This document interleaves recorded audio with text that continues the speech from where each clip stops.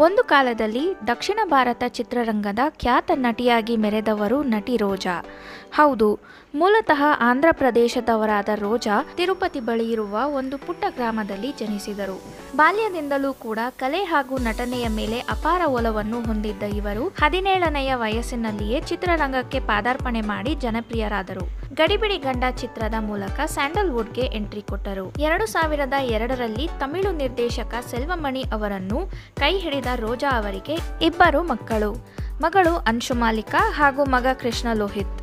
ಕನ್ನಡದ Gadibidi Ganda, Kalavida, Premotsava, Independence Day Gramadevathe Sundarakanda, Parva ಹಾಗೂ ಮೌರ್ಯ ಚಿತ್ರಗಳಲ್ಲಿ ರೋಜಾ ಅವರು ನಟಿಸಿದ್ದಾರೆ.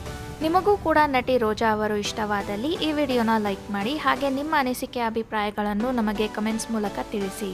ನೀವಿನ್ನು ನಮ್ಮ ಚಾನಲನ್ನು ಸಬ್ಸ್ಕ್ರೈಬ್ ಆಗಿಲ್ಲ ಅಂದರೆ ಈ ಕೂಡಲೇ ಸಬ್ಸ್ಕ್ರೈಬ್ ಆಗಿ. ಧನ್ಯವಾದಗಳು.